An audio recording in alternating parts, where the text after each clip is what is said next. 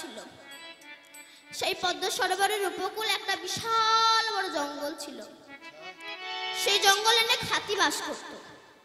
হাতির মধ্যে একজন দলপতি থাকে, তাকে বলা হয় দাঁতাল হাতি। পশুদের মধ্যে একতা আছে। একটা পশু আর একটা পশুর কথা শুনে, কিন্তু মানুষের মধ্যে একটা মানুষ আর একটা মানুষের কথা শুনতে চায় না। তো দলপতি হাতির একদিন ইচ্ছা হলো বৈশাখ মাসে, জ্যৈষ্ঠ মাসে প্রচণ্ড গরমে একটু পদ্ম সরোবরে গবগহন করতে যাবে। তা নিজের প্রিয়জন, আত্মীয়, স্বজন বন্ধু বান্ধব ছেলে, মেয়ে সবাইকে নিয়ে পদ্ম সরোবরে স্নান করছে, করতে এসেছে। স্নান করতে করতে আত্ম ভোলা হয়ে গিয়েছে। যেমন সংসার বনের ভিতর স্ত্রী পুত্র নাতি নাতনি কে নিয়ে যেমন আমরা খেলা করতে করতে আত্ম ভোলা হয়ে যায়। দিন দিন যে চুল পেকে যাচ্ছে, দাঁত পড়ে যাচ্ছে, চোখে অস্পষ্ট দেখছি, কানে ভালোভাবে শুনতে পাচ্ছি না, মুখ তুবড়ে যাচ্ছে আমরা ঝুলে যাচ্ছে। অনেক ফেস ওয়াশ মাখছে, কোনো কাজ হচ্ছে না। চলে আমাদেরকে যেতে হবে, এটা আমরা ভুলে গিয়েছি। তাই সেই হাতিটা স্নান করতে করতে আত্ম ভোলা হয়ে গিয়েছে। কিন্তু পদ্মা সরোবরে যেখানে যত বেশি আনন্দ, সেখানে তত বেশি কষ্ট। যেমন রোল, চাউমিন, ফুচকা, মুখে ভালো লাগে, ভেতরে গিয়ে অ্যাসিড বাঁধায় তেতো মুখে ভালো লাগে না, ভেতরে ভালো কাজ হয়। হরিনাম আমাদের কাছে তিতর মতো লাগে, ভেতরে ভালো কাজ হয়। তো যখন আত্ম ভোলা হয়ে গেল, ওই পদ্ম সরোবরে একটা কুমির বাস করত। এটা কোনো গল্প কথা নয়, শ্রীমদ ভাগবতের দৃষ্টান্ত। শ্রীমদ ভাগবতী আছে। সেই সময় সেই কুমিরটা এসে ওই গজেন্দ্র ওই হাতির পায়ে কামড় দিয়েছে। যখন কামড় দিয়েছে, তত্ত্ব কি? আপনি বাড়ির মালিক। ভোর তিনটের সময় উঠে মাঠে ঘাটে কাজ করতে যাচ্ছেন। যাদের জন্য আপনি খেটেছেন, যাদের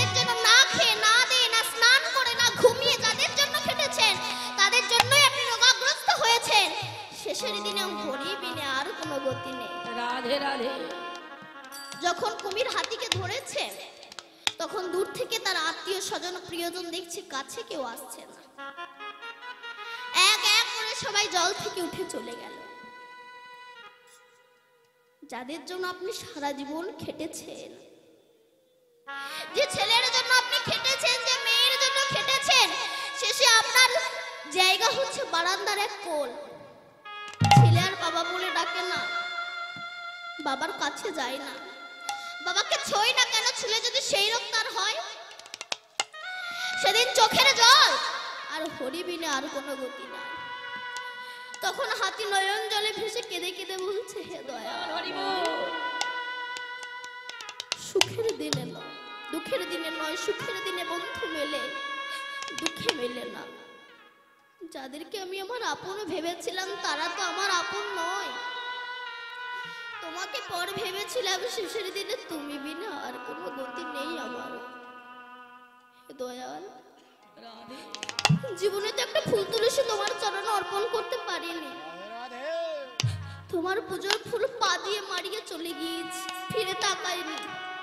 জীবনে তোমার প্রসাদী হতে পারেনি। আমি অধম বলে তো আমাকে কিছু কম করে দাওনি তুমি। হরি বল। সবই তো দিয়েছ। চোখ, কান, হাত, পা, নাক, মুখ, সবই দিয়েছ। কিন্তু যে কাজের জন্য আমাকে দিয়েছিলে, সে কাজে আমি ব্যবহার করতে পারিনি। যে চোখ দিয়েছিলে তোমার রূপ মাধুর্য দর্শন করার জন্য। সেই চোখে টিভি সিরিয়াল দেখলাম কুবস্তু দেখলাম। তোমার রূপ মাধুর্য নয়ন ভরে দর্শন করলাম না। যে নাক দিয়েছে তুলসীর ঘ্রাণ নেওয়ার জন্য, সেই নাকি কত মাছ মাংসের ঘ্রাণ নিলাম। তোমার তুলসী পাতার ঘ্রাণ নেওয়া হলো না। যে কান দিয়েছে হরিনাম শ্রবণ করার জন্যে, সেই কানে কত বাজে কথা শুনলাম। তোমার নাম শ্রবণ করলাম না। যে মুখ দিয়েছ হরিনাম করার জন্যে, সেই মুখে গুরুজনদের কত ছোট বড় কথা বলেছি? কত বাজে কথা বলেছি? তোমার নাম করা হলো না। যে হাত দিয়েছ তোমার নাম করা হাত তোমার আরতি করার জন্য। সেই হাতে মদের গ্লাস ধরলাম মাংসের ঠ্যাং ধরলাম। রাধে। তোমার আরতি করা হলো না। যে পা দিয়েছিল তোমার মন্দিরে যাওয়ার জন্য সেই পায়ে পতিতালয়ে গেলাম। কিন্তু তোমার মন্দিরে যাওয়া হলো না। কিন্তু আমি অধম বলে তো আমাকে কিছু কম করে দাওনি। সবই তো দিয়েছ তুমি আমাকে কৃপা করতে এসেছিলে। কেবল আমি তোমাকে চিনতে পারিনি।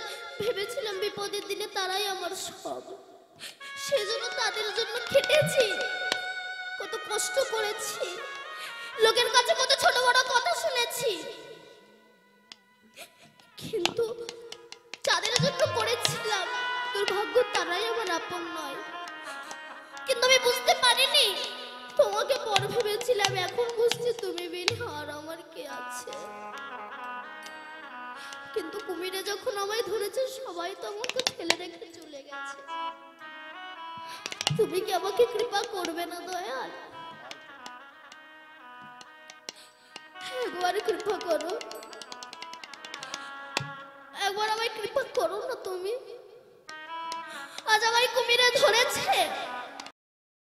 তখন হাতিটি সুরে করে একটা পদ্ম ফুল নিয়ে ডাকছি গোবিন্দকে, আমি সকল দুয়া হই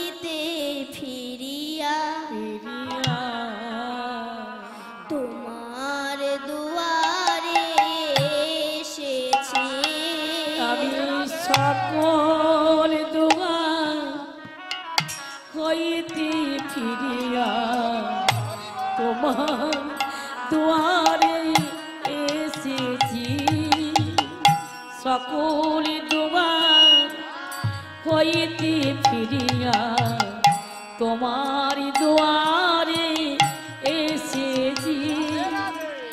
কত না তীর্থ ঘুরিয়া ফিরিয়া দয়াল, কত না তীর্থ ঘুরিয়া ফিরিয়া দয়াল তোমার চরমে পড়েছি।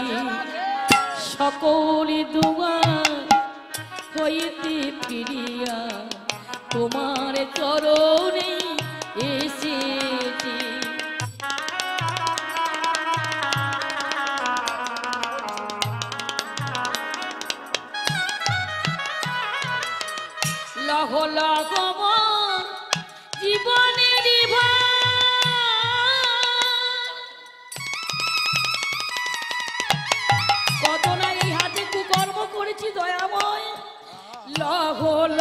অমর জীবন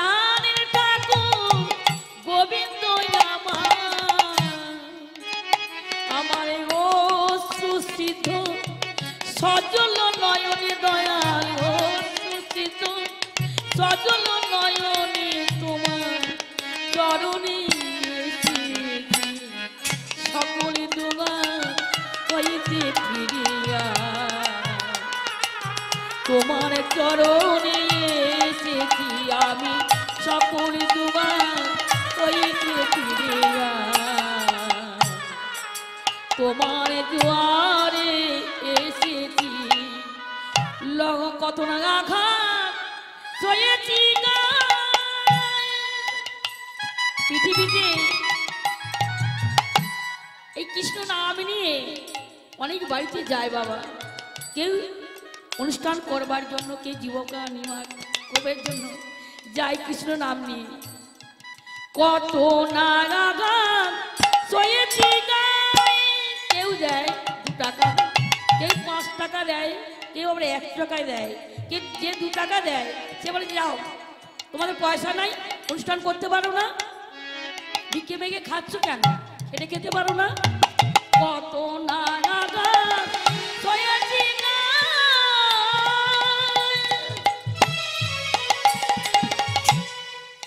সংসারের জন্য কত কানলাম কুল কত কুলিগিরি কানলাম সবার কাছে আমি মুখোশ হাতে খেলাম খেলাম। কে বলছে, এই, তুই এই টাকা খাচ্ছিস এই টাকা তো দাম হয় না? যাই দু টাকা নিয়ে যা। কত নাগাঘাত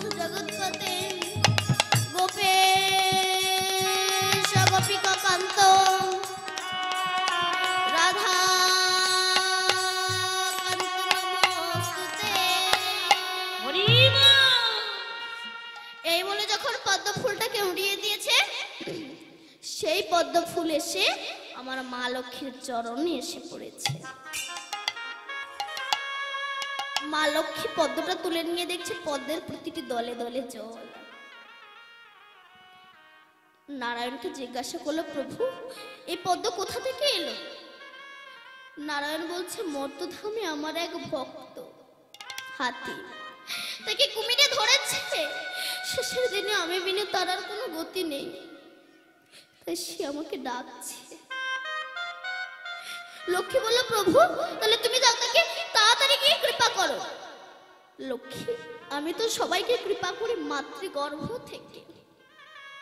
কিন্তু মানুষ যখন পয়সার মালিক হয়ে যায়, নিজের স্ত্রী পুত্র পরিজনকে পেয়ে যায়, সে সময় আমাকে ভুলে যায়। সেই জন্য আমি একটু তাদেরকে কষ্ট দিতে চাই, দুঃখ দিতে চাই, এ বিনে আর কিছু নয়। সত্যিই তো বাবা, তিনি মাত্র গর্ভ থেকেই আমাদেরকে কৃপা করে। বাবা হাটে যাবে, বোঝা মাথায় নিয়েছে। ছোট্ট যত্নের ছেলে বাবার হাতটা ধরেছে বাবা, আমাকে একটু নিয়ে যাবে। কোথায়? হাটে। তখন বাবা বলল, খোকা, ওখানে তো প্রচণ্ড ভিড়, ওখানে গেলে তুমি হারিয়ে যাবে। ছেলে বলল, বাবা, কথা দিচ্ছি, তোমার হাত একটুও ছাড়বো না। এইবার বাবা বিশ্বাস করে ছেলেকে যেই হাটে এনেছে, বোঝাটা নামাতে গিয়েছে, হাতটা ছাড়া পড়েছে, ছেলে বিভিন্ন রকম দোকান দেখছে। চপের দোকান, বেলুনের দোকান, খেলনার দোকান, বাজারে কিনা নেই। এইসব দোকান দেখতে দেখতে ছেলে বাপের কথা ভুলে গিয়েছে। এবার সন্ধ্যা হয়েছে, তখন বাবার কথা মনে পড়েছে, তখন বাবা বাবা বলে কাঁদছে। এমন সময় মিষ্টির দোকানদার জিজ্ঞাসা করছে এই খোকা, কি হয়েছে রে তোর? কাঁদছিস কেন? বলে, আমার বাবা হারিয়ে গিয়েছে। বলে, ওরে বাবা হারাইনি হারিয়েছিস তুই।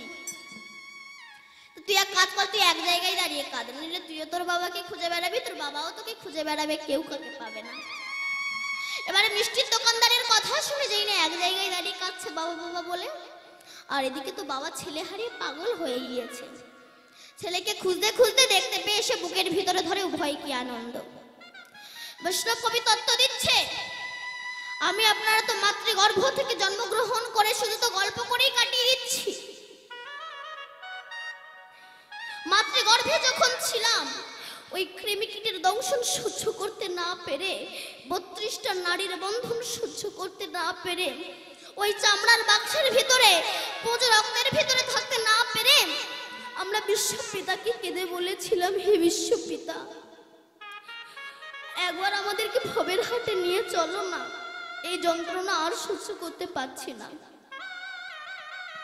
আমাদের বিশ্বপিতা বলেছিল, বাবা গো, ওখানে গেলে তো সবাই হারিয়ে যায়। সবাই বলেছিল, আমার নাম করবে কেউ, আমার নাম করে না, তুমি যদি হারিয়ে যাও। আমরা কথা দিয়েছিলাম, হে বিশ্বপিতা একবার নিয়ে চলো, যত ভালো মন্দ খাই না কেন, যত গাড়ি বাড়ি ঐশ্বর্য হোক না কেন, কথা দিচ্ছি তোমার চরণ, আমরা ছাড়বো না। এবার আমাদের বিশ্বপিতা আমাদেরকে বিশ্বাস করে, যেই না আমাদেরকে ভবের হাটে এনেছে, আমরা বিভিন্ন রকম দোকান দেখছি। ছেলে একটা দোকান, মেয়ে একটা দোকান, স্ত্রী একটা দোকান, পুত্র একটা দোকান, সব এক একটা দোকান। এই দোকানগুলো দেখছে অনুভব করছি। অনুভব করতে করতে যখন আয়ুষ্য পাটে বসেছে, কাম ক্রোধ লোভ আমাদেরকে ঘিরে ফেলেছে, এইবার একবার ছুটে যাচ্ছি কালীর কাছে, দুর্গার কাছে, শিবের কাছে, কোথায় গেলে আমরা বিশ্বপিতাকে পাবো? আমাদের গুরুদেব বলো বাবা গো, তুমি কালীর কাছে গেলেও কৃষ্ণকে পাবে না? জগতে কালী পূজা বেশি হয়, কৃষ্ণ পূজা কম হয়। অনেকে বলে, কালীও যা কৃষ্ণ তাই। তাহলে বউও যা, শালিও তাই। ও তো সে শাশুড়িরই মেয়ে। জগতে কালী পূজা বেশি হয়, কৃষ্ণ পূজা কম হয়, কেন? কালী পূজা করলে নাকি পাঠার মাংস খেতে হয়। আচ্ছা কালী পূজা করলে যে পাঠার মাংস খেতে কোন শাস্ত্রে লেখা আছে? মন গড়া শাস্ত্র। রামকৃষ্ণদেব বলছে, ওরে, যিনি জগৎ মা, সে কি সন্তানের মাংস খায় রে? কোন পাঠা বলে দিবি? তোর হৃদয়ে ছয় ছটা পাঠা আছে রে কৃষ্ণ বিদ্বেষী। কাম, ক্রোধ, লোভ, মোহ মাদম আশ্চর্য এই সর রিপুকে বলি দে আর আমরা ছাগল বলি দিই আমরা মায়ের কাছে পূজা করে বলি, মা ধনং দেহি, যশং দেহি, পুত্রং দেহি, বিদ্যাং দেহি, বুদ্ধিং দেহি, কি করে দেবে সে? তারই একটা কাপড় ঘটে না। তত্ত্ব কি বলছে? ধনং দেহি কোন ধন? মা, তুমি আমি এমন ধন দাও যে ধনের দ্বারা আমি সাধু গুরু বৈষ্ণবের সেবা দিতে পারি। দেবেন পয়সা জগতে সবার আছে, সবার পয়সা কিন্তু গোবিন্দ সেবায় লাগে না। যেমন সব ফুল গোবিন্দ সেবায় লাগে না। একই গাছের ফুল, কোনোটা মালা হয়ে মরার গলায় গিয়ে শ্মশানে গিয়ে পড়ে ছাই হয়ে যাচ্ছে? কোনোটা বড়বধুর গলায় যাচ্ছে, কোনোটা ঝরে পড়ে যাচ্ছে, আবার কোনোটা মালা হয়ে আমার রাধা গোবিন্দের গলায় গিয়ে দুলছে গো। যেমন একই গাছের ফুল, কোনোটা মালা হয়ে মরার গলায় যাচ্ছে, কোনোটা বড়বধুর গলায় যাচ্ছে, কোনটা ঝরে পড়ে যাচ্ছে, আবার কোনোটা আমার রাধা গোবিন্দের গলায় গিয়ে দুলছে। একই পাল বসানো ঘট, কোনো ঘটে মদ রাখা হয়, কোনো ঘটে খেজুরের রস রাখা হয়, আবার কোনো ঘট মন্দিরে প্রতিষ্ঠিত হয়। সুরা পান করতে ভালোবাসে কেউ পতিতালয়ে যেতে ভালোবাসে আবার কেউ বা কৃষ্ণ ভক্ত। রাধে রাধে। তাই সবার পয়সা গোবিন্দ সেবাই লাগে না। দেখবেন যখন বারোয়ারি অনুষ্ঠান হয় কমিটিরা যখন দাঁড়ে দাঁড়ে ভিক্ষা করতে যায় জগতে কিন্তু অনেক মানুষ আছে। দশ হাজার টাকা দান করতে পারে পাঁচশো টাকাও দেয় না। একশো টাকা ঠেকি বলে এবারে এইটাই না। তোমার কাকার শরীরটা খুব অসুস্থ। কেন? তোমার টাকা ডাক্তারে খাবে কুকুরে খাবে। তোমার টাকা ভগবান সেবায় লাগবে না। কেউ সুরা পান করে টাকা নষ্ট করে আবার কেউ বা তিলে তিলে রেখে দেয় সাধু গুরু বৈষ্ণবের সেবা দেওয়ার জন্য। বিদ্যাং দেহি মা তুমি আমায় এমন একটা বিদ্যা দাও যে বিদ্যার দ্বারা যেন আমি শাস্ত্র গ্রন্থ রচনা করতে পারি। পত্নী দেহি তুমি আমায় এমন একটা পত্নী দাও, সে যেন আমাকে জগৎ, আমাকে যেন ভগবানের কাছে পৌঁছে দিতে পারে, এমন একটা পত্নী তুমি আমাকে দাও। দেখবেন ফুটবল খেলার মাঠে যখন খেলোয়াড়রা খেলতে নামে, সেই সময় এই খেলোয়াড় ফুটবলকে লাথি মেরে ওই খেলোয়াড়ের পায়ে দেয়, ওই খেলোয়াড় ফুটবলকে লাথি মেরে ওই খেলোয়াড়ের পায়ে দেয়, ওই খেলোয়াড় ফুটবলকে লাথি মেরে ওই খেলোয়াড়ের পায়ে দেয়। তখন ফুটবল মনে মনে ভাবছে, আমি কখন গুলকির কাছে যাব? গুলকি হয়তো আমাকে লাথি মারবে, কিন্তু সে তো প্রথমে আমায় বুকে করে নেবে। সংসারে প্রত্যেকটা বাবা মায়েরই একই অবস্থা। বড় ছেলের কাছে লাথি খেয়ে মেজো ছেলে, মেজো ছেলের কাছে লাথি খেয়ে সেজো ছেলে, সেজো ছেলের কাছে লাথি খেয়ে ছোট ছেলে, ছেলের কাছে লাথি খেয়ে বৌমা, বৌমার কাছে লাথি খেয়ে নাতি নাতনি নাতি নাতনির কাছে খেয়ে আত্মীয় স্বজন আর এই লাথি খেতে খেতে আমরা বার্ধক্যই পরিপূর্ণ হয়ে যাই। সেই সময় দিনের শেষে মনে পড়ে আমার দীনবন্ধুর কথা। তখন চোখে দেখতে পাই না মুখে কথা বলতে পারি না। সেই সময় নবদ্বীপের বুকে দুই গুলকি এক হচ্ছে আমার গৌর চাঁদ আর এক হচ্ছে আমার নিতাই চাঁদ। তারা এসে বলছে ওরে তোদের যে লাথি খেতে খেতে তোদের যে অন্তিম সময় চলে এসেছে। রাধে। তোদেরকে কেউ না দেখুক আমরা দুটি ভাই আমাদের বুকে আয়। আয় বুকে। একবার হরি বল একবার কৃষ্ণ বল। আমি করুণার দয়াল। তোদেরকে কৃপা করার জন্য এসেছি একবার হরে বল। একবার বল তোরা হরে কৃষ্ণ হরে কৃষ্ণ কৃষ্ণ।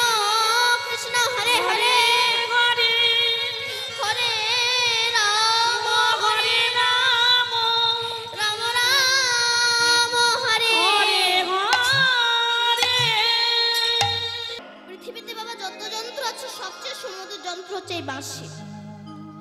এই বাঁশিটা জন্ম কোথায়? পূর্বে ব্রহ্মা ক্রিয়াতে যজ্ঞে বেনু পঞ্চবেনুষ্যতে নবম পর্মে সরহন্য ষষ্ঠমে জলধনু পঞ্চমে হয় গান্ডীব ধনু সপ্তমে হয় হরধনু বিশ্বকর্মার নিষ্কাম যজ্ঞে পঁচিশ পর্বে আহুতিটা বাঁশের উৎপত্তি হয়। এত ঊর্ধ্বে পর্বটা ছিল এক পর্বে হয়েছিল মোহন বাস। এই বাসিটা কৃষ্ণের কাছে আসলো কি করে?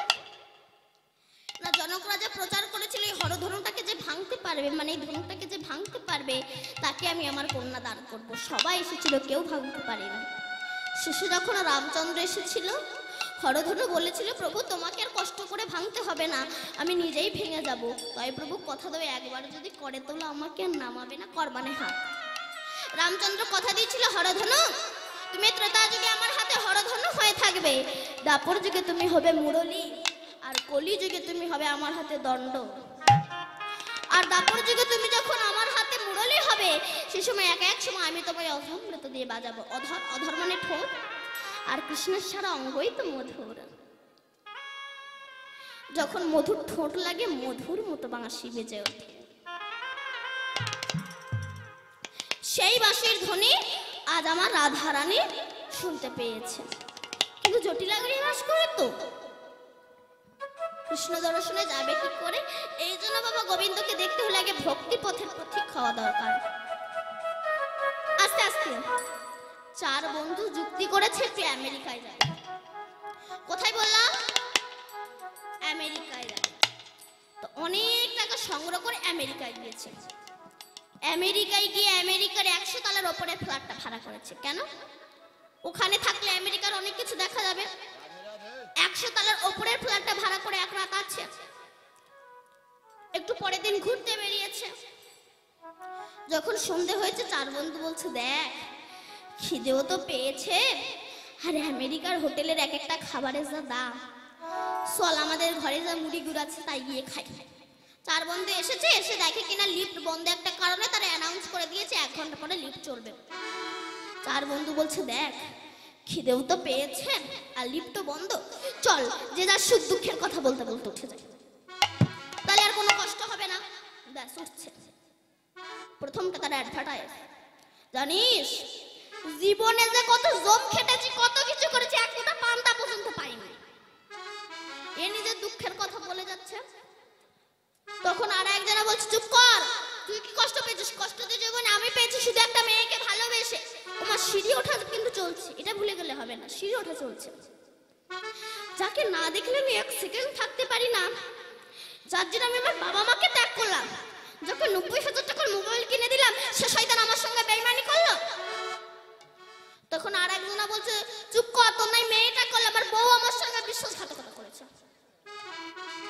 আমার খাই, আমার পরে আর পরের সঙ্গে ঘুরে মরে।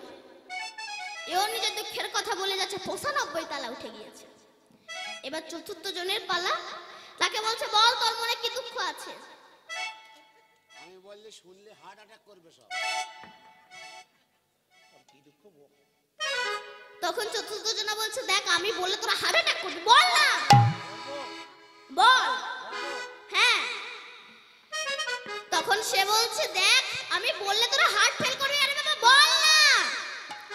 শোন আমরা এই যে এততলা গল্প করতে করতে উঠে এলাম কিন্তু ওপরে গিয়ে যে চাবি দিয়ে তালা খুলে গিয়ে আমাদের খিদের নিবারণ করব সেই ঘরে সাবি নিচে রিসেপশনে ফেলে চলে এসেছে। এইবার কি হবে? গল্পের কথা মাথায় বজ্র ভেঙে পড়েছে। বৈষ্ণব কবি তত্ত্ব দিচ্ছেন আমরা তো মাতৃগর্ভ থেকে জন্মগ্রহণ করে তো শুধু গল্প করেই কাটিয়ে দিচ্ছি কিন্তু সিঁড়ি ওঠা তো চলছে। আয়ু সূর্য তো চলছে এই চলতে চলতে আমরা যে গল্প করে কাটিয়ে দিলাম, ওই যে হরি নাম রূপী চাবি নিলাম না? যখন স্বর্গের দুয়ারে যাব, ওই যে হরি নাম রূপী চাবি নিলাম না? আমাদেরকে স্বর্গের দুয়ার খুলতে পারলাম না। আবার আমাদেরকে আসতে হবে, আবার যেতে হবে, আবার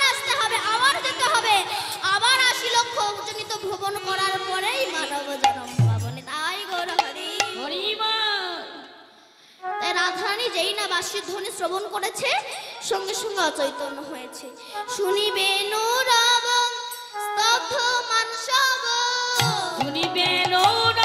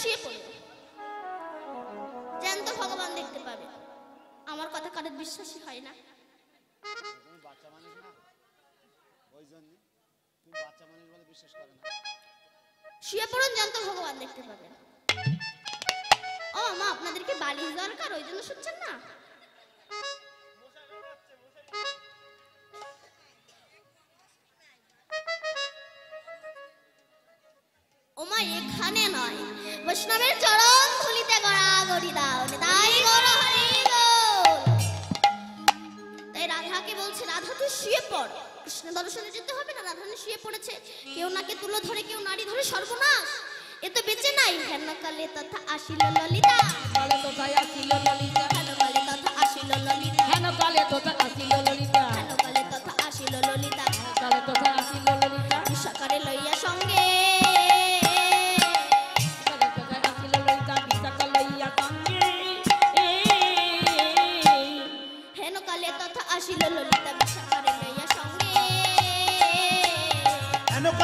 আসিলে ললিতা বিশাখার লইয়ে সঙ্গে। হেলিত নলিনী পড়িল ধরণী ধুলায় ধূসারই অঙ্গে। আর হেলিত নলিনী পড়িল ধরণী ধুলায় ধূসারই অঙ্গে। হেলিত নলিনী পড়িল ধরণী ধুলায় ধূসারই অঙ্গে। আর হেলিত নলিনী পড়িল ধরণী ধুলায় ধূসারই অঙ্গে।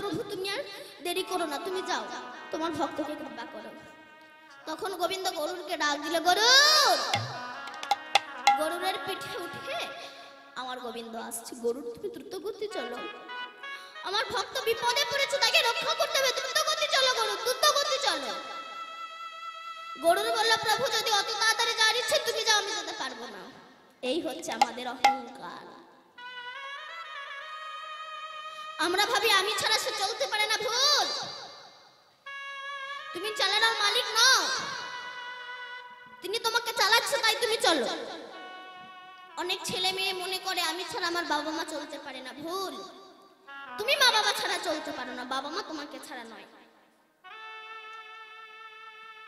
বাবা মা তোমাকে ছাড়া নয়। গাড়ির দাম এক কোটি টাকা দাম হতে পারে। পাঁচশো টাকা ড্রাইভার না হলে গাড়ি চলে না। এমনি দেহের অনেক মূল্য থাকতে পারে। ওই সূক্ষ্ম আত্মাটা না থাকলে দেহের কোনো মূল্যই হতে পারে না। গরুর মনে মনে ভাবলো আমি ছাড়া ভগবান চলতে পারে না। গরুর বলে প্রভু যদি অত তাড়াতাড়ি যাওয়ার ইচ্ছে হয়, তুমি যাও আমি যেতে পারব না। ভগবান বলল, গরু, তুমি পূর্বজন্মে একটা পাখি ছিলে, তোমার নাম হচ্ছে উল্লুক উলুক পাখি নারদ ঋষিকে গান শিখিয়েছিল। তো উলুক পাখি নারদ ঋষিকে বলেছিল, আমি তোমাকে গান শিখালাম, দক্ষিণা দেবে না? সেই সময় নারদ ঋষি বলেছিল, উলুক পাখি, তুমি যে আমাকে গান শিখালে তাই আমি তোমাকে এই দক্ষিণা দিলাম। আগত জন্মে তুমি স্বয়ং ভগবান বিষ্ণুর বাহন হবে। তাই গরুরের কত সৌভাগ্য, কিন্তু অহংকার যাবে কোথায়? গরুর মনে মনে ভাবলো, আমি ছাড়া ভগবান চলতে পারে না। গোবিন্দ যেই নেমে গেল, গরুর মনে মনে ভাবলো, আমি আগে উড়ে গিয়ে গোবিন্দের সামনে গিয়ে বসবো। এই বলে যেই উঠতে গিয়েছে, আর উঠতে পারে না। গরু দূর থেকে ডাক দিয়েছে দয়াবাই আমি ভেবেছিলাম আপনাকে চালাতাম না, আপনি আমাকে চালাতেন, তাই আমি চলতাম, আমায় কৃপা তখন ভগবান গরুরের পিঠে উঠে আসছে। এদিকে হাতি নয়ন জলে ভেসে, কৃষ্ণ, কৃপা করো বলে কেবল কাঁদছে। মানুষ যখন সর্বস্ব চলে যায়, সেই সময় তার চেতনা হয়। কেন এতদিন তাকে ডাকলাম না? শুধু সংসার নিয়ে মজে ছিলাম কিন্তু হরি যে আমার আপন, সে যে আমার সব, কেন আমি তাকে ডাকলাম না? কেন তাকে আমি বুঝলাম না? যখন হাতি নয়ন জলে ভেসে ডাকছে, আমার গোবিন্দ হাতির সামনে এসে দাঁড়িয়েছে। হাতি বলছে দয়াময়, যোগী মুনি, ঋষি, সাধক সাধিকা গন্ধর্ব, কিন্নর, দেবী দেবী, কোটি কোটি জন সাধনা করে যার চরণ সেই ভগবান আমার সামনে এসে দাঁড়িয়েছে।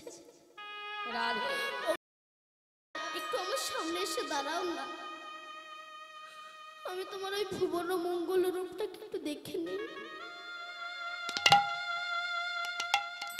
তোমাকে তো কোনোদিনও ডাকেনি কোনোদিনও তোমাকে ভালোবাসেনি। একটু দাঁড়াও না। তোমার ভুবন মঙ্গল রূপটাকে আমি একটু দর্শন করে নিই। হস্তি যখন প্রভুর চরণ ধরে কাঁদিতে লাগিল। চরণ ধরে কাঁদিতে লাগিল। সুদর্শন চক্রকে আহ্বান করি কুমিরের মস্তক ছেদন করিল। কুমিরের মস্তক ছেদন করিল। মস্তক ছেদন করিল যখন হস্তি কৃপা পেয়ে গেল। হস্তি কৃপা পেয়ে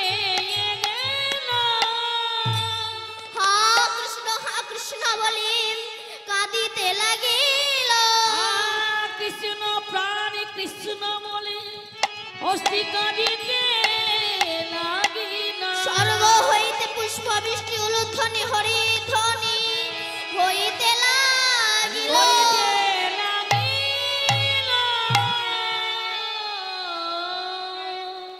সেই দিন গোবিন্দ বলেছিল হাতি তুমি যে আমায় নয়ন জলে ভেসে ডাকলে আগত কলিযুগে যেখানে কীর্তন হবে, হরিনাম হবে, সেখানে আমি গিয়ে ভক্তের চরণ তুলে আমার শ্রী অঙ্গে মাগবো তুমি যে আমায় সুর তুলে ডাকলে, সেদিন সেদিন থেকে হাত তুলে হরি বল বলতে সেদিন থেকে হাত তুলে হরি বল বলতে হয়। তাই আমরা একটু গাইবো ভগবানের না সবাই মিলে বাহুটা তুলো এই পেছনের মায়েরা, সবাই মিলে তুলুন। কৃষ্ণ বলে,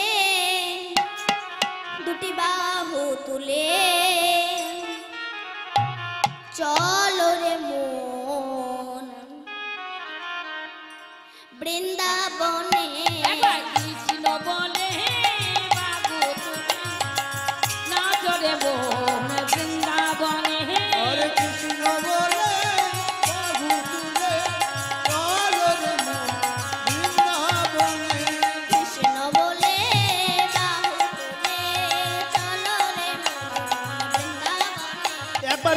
কৃষ্ণ বলে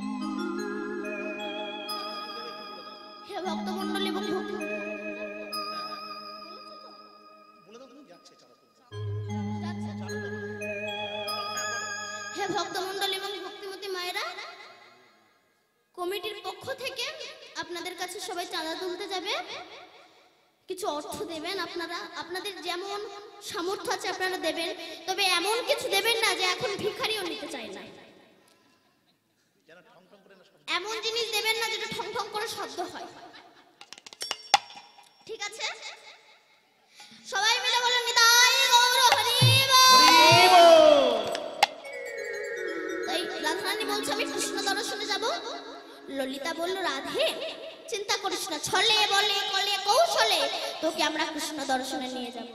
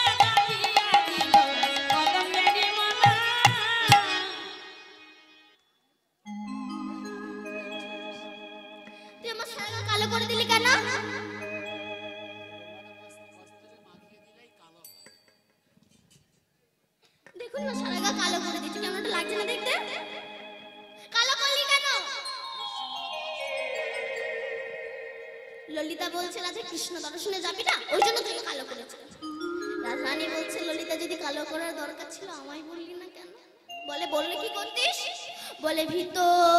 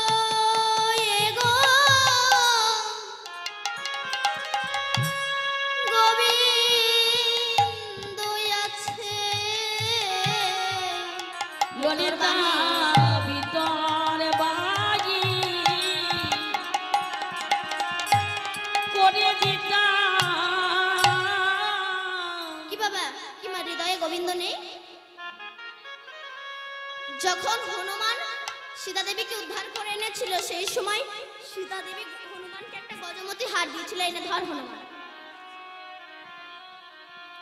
হনুমান সে হারটাকে নিয়ে দূর করে ছুঁড়ে ফেলে দিয়েছিল। লক্ষণ বলে, এত দামি হার তুমি ছুঁড়ে ফেলে দিলে কেন? বলে, আমার প্রভু রামের চেয়ে কি আর দামি বস্তু জগতে হতে পারে? ফেলে দিয়েছিল আবার তুলে, একটা করে দানা ছেড়ে চেবাইয়া থুতিয়ে থুতিয়ে ফেলে দেয়। লক্ষণ বলছে, তুমি এমন করছ কেন? বলে, বাইরেটা দেখে ফেলেছিলাম, ভেতরটা তো দেখিনি। ভেতরে যদি আমার প্রভু রাম থাকে, দেখছি রামের কত ব্যথা লাগবে। তাই দেখছি ভেতরে আমার প্রভু রাম নেই তো। আরে বাবা, গজপতির ভিতরে কোনোদিন কি রাম থাকে বলে শুধু গজপতির ভিতরে কেন? আপনার ভিতরে রাম আছে, আমার ভিতরে রাম আছে, প্রমাণ আছে। সেই সময় বক্ষ চিরে রাম সীতা দর্শন করে দিলেন তাই আমার রাজধানী কৃষ্ণ হচ্ছেন। দেখবেন ছেলে মেয়ে হওয়া যায়, মেয়ে ছেলে হতে গেলে অনেক অসুবিধা আছে। মেয়েদের আছে, লম্বা লম্বা চুল, আবার বাপা আগে চলে, তাই পয়ধর ঢাকবে কি করে? কদম্ব ফুলের মালা মোটা করে গেথে গলায়।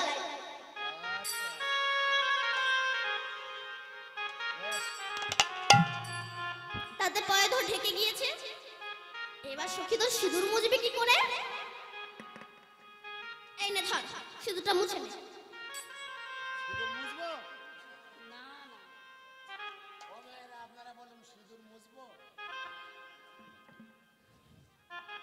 সিঁদুর না মুছলে তো কৃষ্ণ তোকে ধরে ফেলবে তেমনি রেডি না কৃষ্ণ।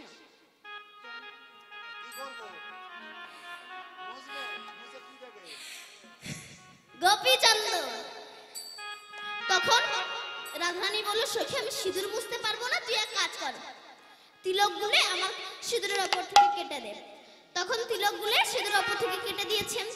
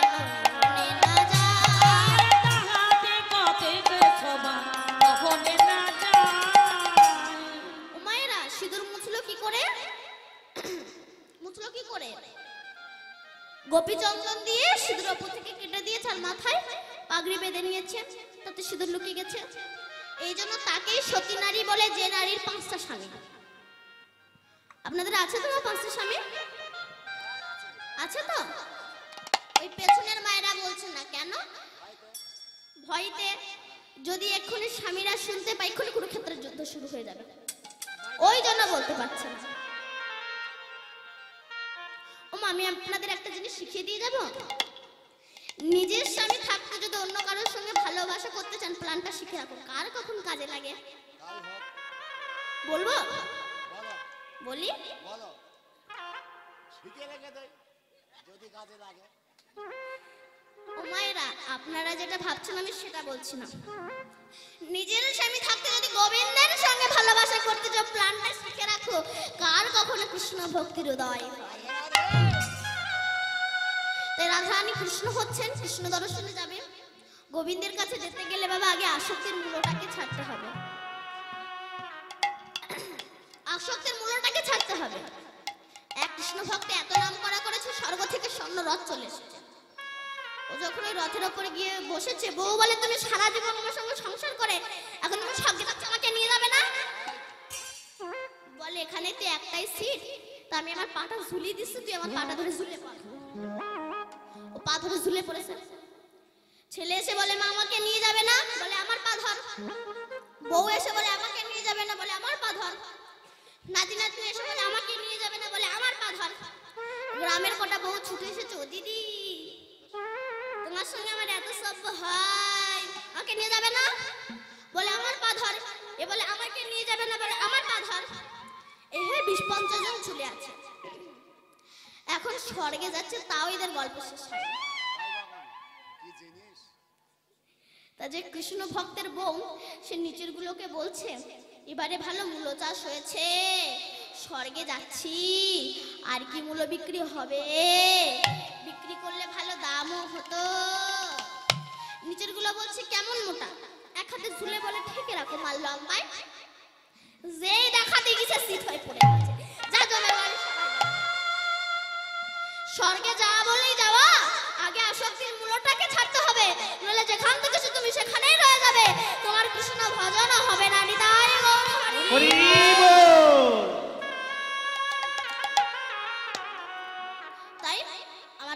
কৃষ্ণ হয়েছে কিন্তু বাসি পাবে কোথায়? বিনোদিনী কহে যদি